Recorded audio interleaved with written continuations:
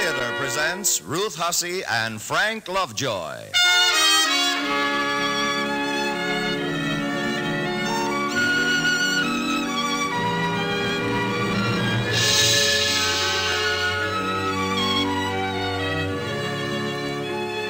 From Hollywood, the Mutual Network, in cooperation with Family Theater, presents Old Friends, starring Frank Lovejoy. And now, here is your hostess, Ruth Hussey. Thank you, Tony Lafrano. Family Theater's only purpose is to bring to everyone's attention a practice that must become an important part of our lives if we are to win peace for ourselves, peace for our families, and peace for the world. Family Theater urges you to pray. Pray together as a family.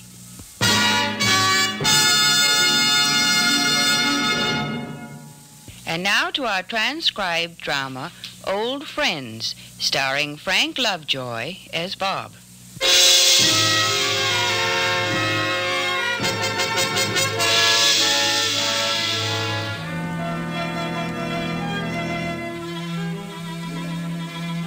The only way you'll ever be able to see my point of view on this is by knowing what I was up against.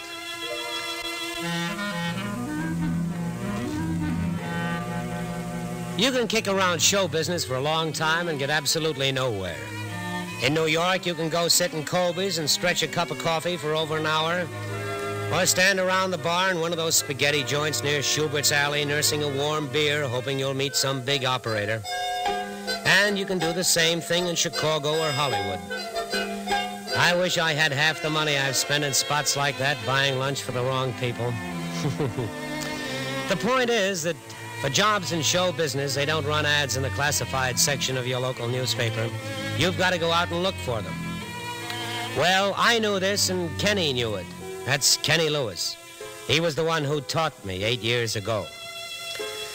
So now I've got a little house in Glendale, and I drive to work at the studio in a Ford convertible, and things are looking up.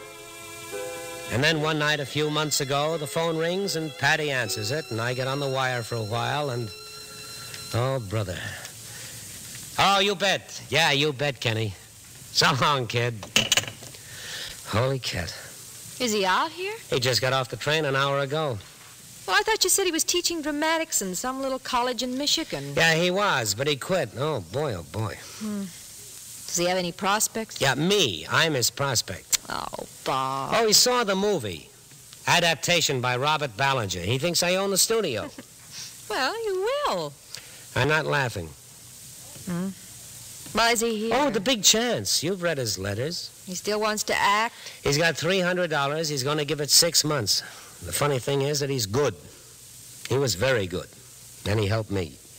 Where's he staying? Nowhere yet, a hotel. I'll steer him into a rooming house. Bob. He helped me, baby. I know. Eight years ago, he helped me. I can't pretend he's not here.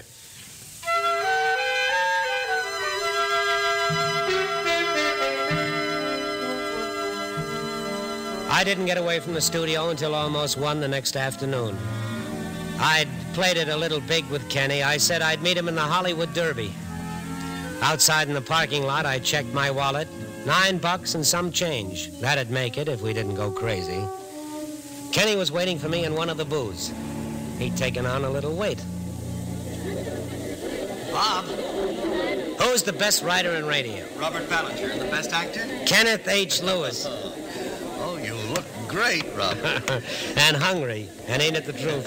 you fat cat. And how's Patty? Oh, she's great. And this time you'll meet her. I'm looking forward to it. You know, you look fine, really, but where's the suntan? Snow place. That's a gag they have in this town. What's that? Well, if you're brown, you haven't been working. Really? Yeah. Well, what about location? Everybody wears hats. Hey, you look good. Oh, I feel okay. No, but seriously, uh, is that bad, having a suntan? Well, I know one guy, a director. He goes swimming every morning off Santa Monica. Winter, summer, he goes swimming. Well, I think it's penance. is he brown? Yeah, yeah, but it doesn't hurt him. Everybody knows he's a director. Ah, that's the trick, huh? Yeah, that's the way it looks. You ordered yet? Uh, no, no, no. I- I'm not very hungry. Kenny, this is Bob. Okay. When I was strapped, you bought the strudel. Well, that was eight years ago. I got just as hungry then. Oh, we were kids. Oh, everybody in this business is kids. An adult couldn't stand it, no. Are we friends? I guess I sound like a jerk. Oh, you sound fine. Now stop worrying. Look, if it wasn't for you, I'd still be knocking myself out trying to be a two-bit actor. You were good. I stunk. You were the guy who told me. Right. So, thank you. Now, what do you want, a steak sandwich? Okay. boy. Now stop worrying. We'll get you work. Well, are they pretty busy out at uh, the studio? And it uh, stays open. My, uh, well, my deal is with just one producer, but there's plenty going on. Merrill. Yeah. He's a fellow who did that thing you saw my name on for the adaptation. Oh, I thought it was great. Really? I mean, seeing your name up on the screen. Well, that really gave me a kick. How'd you like the picture? It was good. Good. I was a little surprised to see your name on a Western, but I guess there's a big demand for that uh, formula stuff. Well, I'd hardly call a Western like Shane formula stuff. Let's face it, Bob, this wasn't Shane. Oh, you guys from the campuses. If it doesn't have English subtitles and a downbeat ending, it's not art. You're from the campus. Yeah, a long time ago. And Shane didn't have English subtitles. You know, I'll bet you didn't know whether to like it or not until you read the Saturday Review. Oh. Oh, now let me give you a little advice, Kenny. You know, most of the people out here think they're doing a pretty good job. I think most of them try to. Yeah, okay. And they've heard of Aeschylus and Shaw, but they're not in business to please the literary crowd. And the literary crowd is well aware of this. Hmm. Well, that might have brought down the house at the last faculty dinner, but out here it would lay an egg. Uh-huh. Did lay an egg with you? Well, we're not talking about me. We're talking about someone who just blew into town with $300 and a gleam in his eye. All right, but look, do I have to pretend I think this is the cultural center of America? No, no. All you got to do is stop pretending you don't want what this town can give you. I'm not quite sure what it can give me. Well, I can sum it up for you very quickly. Oh, uh, excuse me, gentlemen. Have you decided what you want? Yeah, two steak sandwiches. Sir.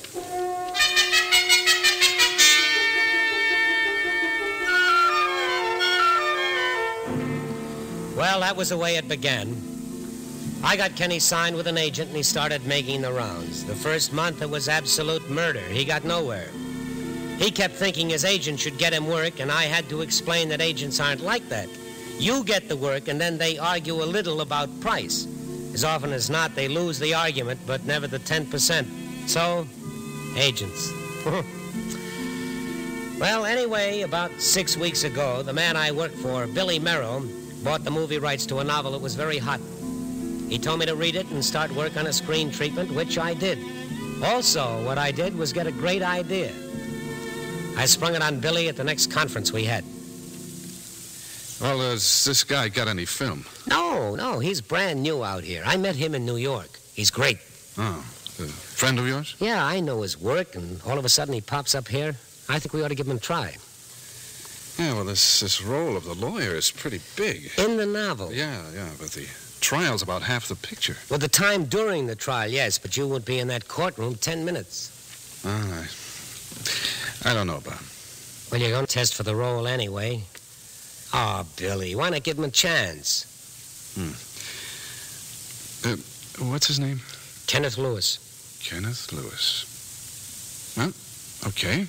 Get a hold of him.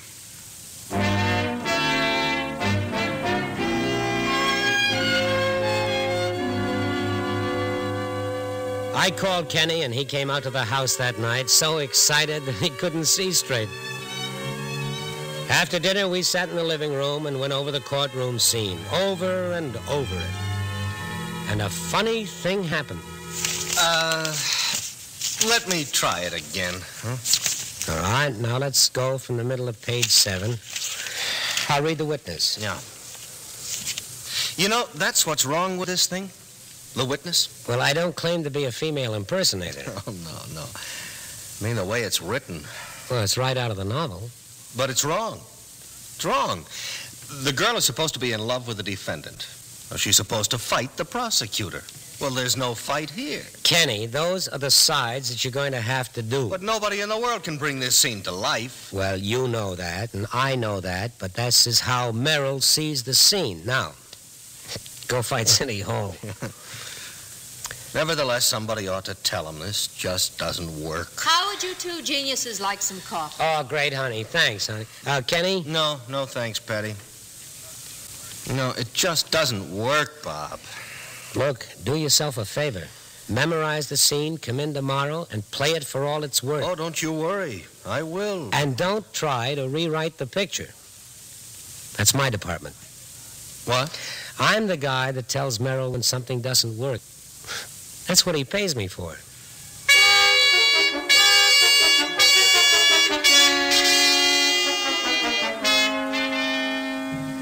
The next day, Kenny did his screen test, Kenny and three other actors.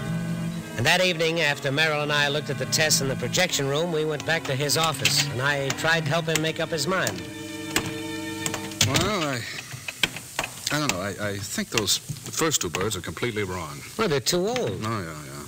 Look like the FBI. Every time you tell an actor he's going to be on the side of the law, he he drops his voice an octave and puts on rimless glasses. How'd you like Kenny Lewis? oh, him. Hmm? Good. He, he's different. He uh, played it kind of strange, though. Well, that's what made him different. I don't mean that. He, but he, he didn't play it the way it was written. He, he, he fought the girl. He fought her all through the scene. It sounded real to me. Yeah, well, that's what's got me worried. It, it was wrong, but it was real.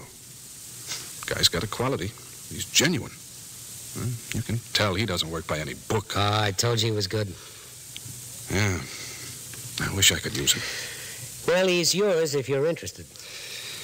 Yeah. Well, I, I'm going to get Tony Milo for the part. Milo? Well, his agent says he's free. But you didn't even test him. I can get him for a price, kid. He's a name. Oh, Bill. Oh, now look. This this movie needs some protection. You've got a potential bestseller. And it stinks. Who's kidding who? And stars. You got two stars. Yes. I'm going to tie on as many more to this as I can and then fix the story. That we can fix. But we haven't yet. So in the meantime, it- it's got to be the names who make it look good to the, the backers. Mm. Well, have you signed Milo yet? Well, there's no rush. I can get him. I think you're making a mistake. It won't be my first. Come on, kid. I'll buy you a lobster.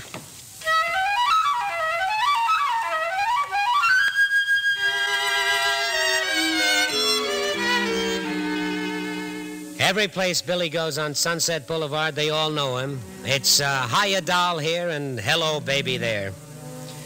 So when we got to this chintzy restaurant, I had plenty of time to make a few phone calls.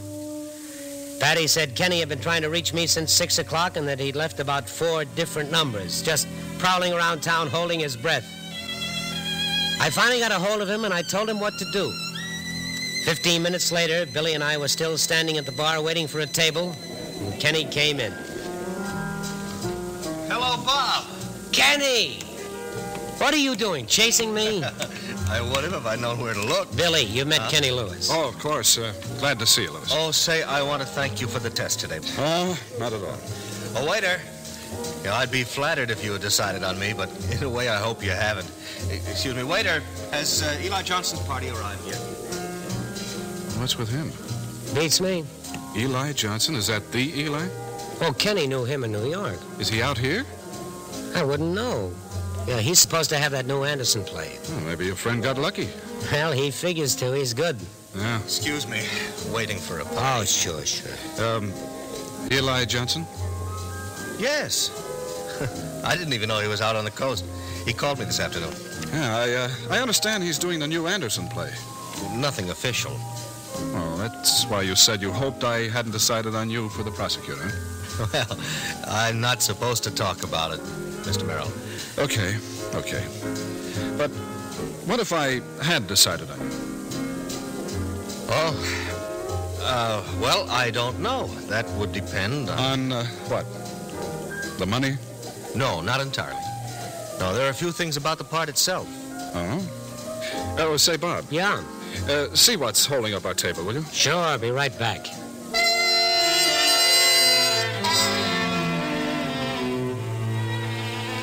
Be right back. Hmm. I never should have left. But I played the old school tie right down to the end. I went into one of the payphones and I called the bar and I got Kenny on the wire. And right in front of Billy Merrill, I gave him a chance to tell Mr. Eli Johnson, the big theatrical producer, that he was sorry that the latter couldn't make it for dinner. And, oh, yes, he'd see Mr. Johnson the first thing in the morning. Well, after I hung up, I went out and I gave the head waiter the hurry up. But by the time I got back to the bar, the damage had been done. And that's, uh, that's the way it seems to me, Mr. Merrill. It's difficult, but in the writing, the part is improperly conceived. The whole thing, it's, it's, uh, it's out of balance. The head waiter says it'll be another ten minutes, Billy. Oh, I, I want you to listen to this, Bob. Hmm? McKinney just got a call. He's having dinner with us. Yeah, Johnson's tied up. I'll see him tomorrow. Oh, it's too bad. Yeah, now listen to this. He's got an angle on a story we didn't even see. Well, uh, the way the thing is written, Bob, the prosecutor's relationship to the girl, the heroine, uh, she doesn't fight him enough. Well, that's why Kenny's test looked real. He fought her, Well, he ought to fight her. We've talked about this. but we didn't do anything about it. Well, Billy, you wanted it the way it was in the book.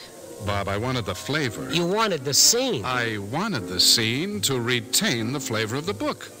That doesn't mean I, I want it to fall flat on its face. Now, you don't want to change it any more than I do. Now, what's your idea? Tell him, Kenny. Oh. Well, actually, it's it's a simple thing, Bob. It's so simple, I'm a little worried that you didn't see it. Oh, maybe I did. Well, just on the off chance that you didn't, please listen. Maybe you'll learn something. Go ahead, Kenny.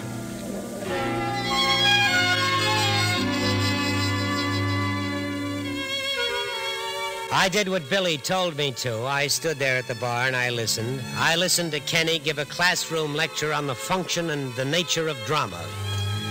A lecture of the sort he'd given the undergraduates at Michigan Subnormal for the last five years. Then we went in and we ate the lobster, and the lecture continued, and Billy Merrill ate it up in great big mouthfuls the lecture and the lobster. It wasn't until the following morning at breakfast that I realized I might have to stick a pin in somebody's balloon, but purely as a matter of self preservation. But I. Well, I still don't understand what he thought he was doing. Well, he thought he was increasing the value of his stock, honey, and he was. Well, he couldn't have been trying to hurt you. Well, all I know is he did hurt me. Well, it wouldn't make any sense. Well, Kenny's been hungry for a long time, and he learns pretty fast. You mean you think he's after your job? Well, let me put it this way. I uh, think he'd take it if Billy offered it to him. Well, Billy wouldn't. You're worrying yourself to death about nothing. You know, I don't know how you've gotten to be such an expert on what Billy would or would not Oh, do. Oh, Bob, this has happened a thousand times. An actor tries to impress a producer and he goes a little overboard. I'll get it. Hello. Robert?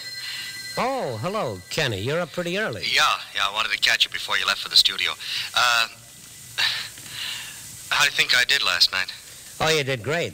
I was just telling Patty. Yeah, Merrill seemed to like me. Oh, he loved you. Oh, and that was a great idea you had about Johnson. 'Cause Billy really took the bait on that, huh? Hook, line, and sinker. Bob, is anything wrong? Well, now that you bring it up, yes, a little. What's the matter? Well, I didn't exactly appreciate the way you plowed into my story treatment in front of Merrill last night. What? The, the, wa- Yes, yeah. You know, whether you know it or not, that didn't do me much good. Oh, Bob. Oh, holy cats. I wasn't knocking your treatment. I was talking about the novel. Well, I wish you'd been a little more explicit. Oh, listen. Oh, good grief. Bob, I was just trying to, to, to, to justify the way I played the scene in the test. Yeah, I know, I know. I wouldn't do anything to make you look bad. Kenny, I'm sure it wasn't intentional. Holy cats, no. If it weren't for you, I, w- I wouldn't even get in the front gate. Yeah, I know that. all right. Now, from now on, if if you got a beef about the script, give it to me first, will you? Oh, sure, kid, sure. Oh, my gosh. You know, Billy is a funny guy. I won't open my mouth again. Honest. All I wanted is the part, you know. I wouldn't be surprised to see you get it. Oh, really? Yeah, Merrill's pretty hot on you. Oh, Bob, I'll never be able to thank you for this. Well, don't thank me until your name's on the contract. Listen, I'm late now. Give me a call at work about noon, huh? Oh, you bet. So long, kid.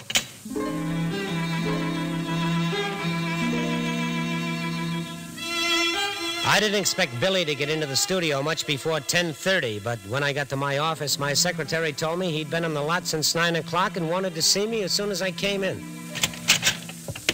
Yeah, come in, kid. Come in. Hmm. Rough night, huh? Oh, yeah, yeah. It's the olives. you should switch to onions. Have a seat. you look chipper. I'm bursting with health. Health and inspiration. you and me, boss. Seriously, kid. I had an idea about your friend Lewis last night. Are you going to give him the part? I think so. I came in early this morning and ran his test again, and you were right. I always am. The reason he's different in that scene is that he plays it wrong. Oh, hello. Or to be more accurate, he's right and the scene is wrong. Ooh, that sounds familiar. Uh, there was a lot in what he said last night about the treatment. Well, I had the feeling that he was talking about the novel. No, no, kid. We, we can't fall back on that. The treatment's not right. Well, okay, then. Let's fix it. It won't take much. Now, that friend of yours has a good story sense, you know? May turn out to be quite a find. Well, he may at that. Has he ever done any writing? Oh, Kenny? Yeah. Well, I don't know. I don't think so.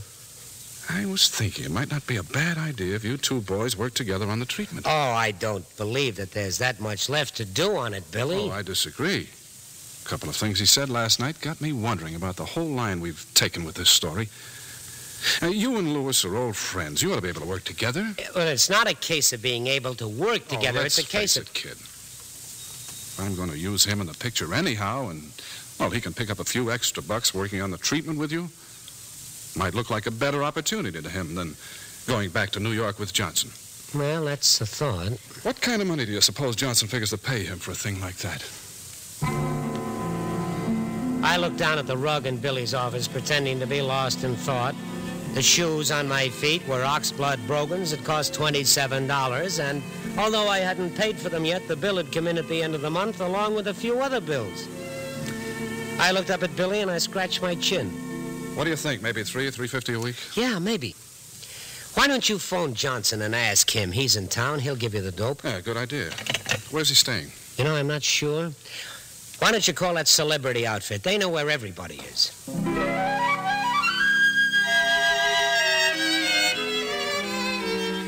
You can guess the rest. Billy got hold of the celebrity service and they told him that Eli Johnson hadn't been in Hollywood for the last six months. And that fixed it. Billy knew he'd been taken, so there wasn't any job for Kenny Lewis because Billy's the kind of a guy who doesn't like to be taken. I finished the screen treatment single handed. Milo got the part, and Kenny hung around Hollywood until his dough ran out. I had dinner with him the night before he left for Michigan to see about getting his old teaching job back. But it wasn't the Derby this time. It was a little pizza place near his rooming house. Well, at least I gave it a try. I'm sorry things didn't work out a little better, kid. No, the break, some make it, some don't. at least I came close. Uh, you came closer than most. Funny thing about Merrill deciding to check on that Johnson gag we cooked up, huh? Yeah. You know, I think I figured out what it was, Bob. Why he did it. Yeah? Yeah.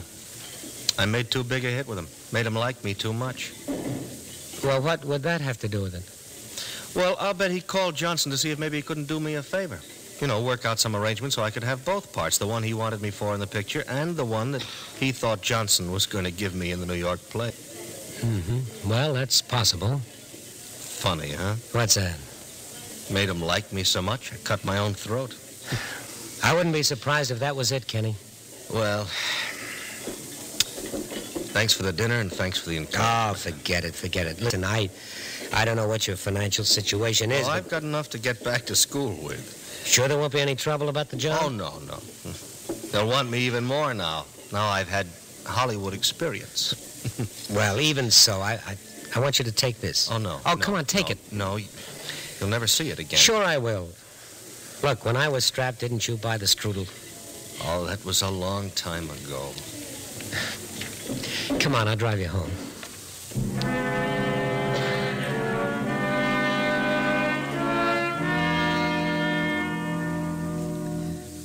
I dropped Kenny off across the street from his rooming house so that I wouldn't have to make a U-turn to be headed back toward the valley.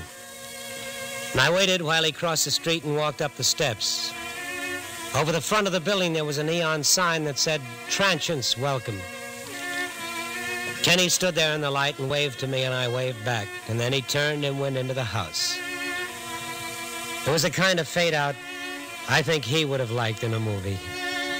All it was missing were the English subtitles.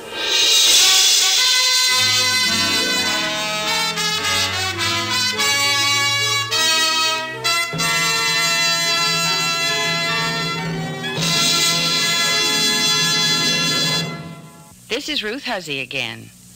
This program recently received a letter from a listener who asks, Why doesn't Family Theater concentrate on presenting stories about the nice side of life, the pleasant side? There's enough sin and selfishness in the world as it is. Why must we be reminded of it on the radio, especially on your program? Well, that's a good question. It's especially good when you consider that it contains its own answer. You see, Family Theater came into existence because its founder recognized and squarely faced the fact that there is sin and selfishness in the world. If there were none but the good things here, it would not be the world, it would be heaven. And we have the Redeemer's word for it. This is not heaven. But it is a place of preparation for heaven, a place where we must struggle with the irony, the paradox of life, groping, sometimes grasping for things that we know will wither and fade, and yet which at the time seem all important. And in this there can be some evil, some selfishness. We are tainted at birth with the sin of our first parents. To deny this is to deny the Creator and the universe He has made. It is to bear false witness. But since few men are all good or all evil, we are able to hope for the best and obliged to strive for it. And a story drawn honestly from life can, like life itself, be highly instructive without sermonizing. The man who injures his neighbor weakens himself, and the man who steals picks his own pocket. It's there to see. A portrait of greed strikes a blow for charity. And, just in passing, a lifelike, if slightly unpleasant story of a home lacking love and faith can be Family Theater's modest way of suggesting that, on the other hand, a family that prays together stays together. More things are wrought by prayer than this world dreams of.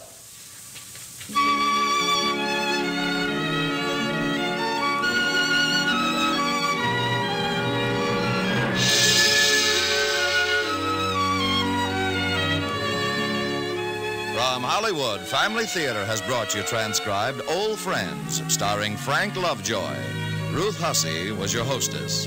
Others in our cast were Gene Bates, Lawrence Dobkin, and John Larch. The script was written and directed by John T. Kelly, with music composed by Harry Zimmerman and conducted by Henry Mancini. This series of Family Theater broadcasts is made possible by the thousands of you who feel the need for this type of program, by the Mutual Network, which has responded to this need, and by the hundreds of stars of stage, screen, and radio who give so unselfishly of their time and talent to appear on our Family Theater stage. To them and to you, our humble thanks. This is Tony Lofrano expressing the wish of Family Theater that the blessing of God may be upon you and your home, and inviting you to be with us next week when Family Theater will present The Thin Red Line, starring George Nader. Peggy King will be your hostess. Join us, won't you?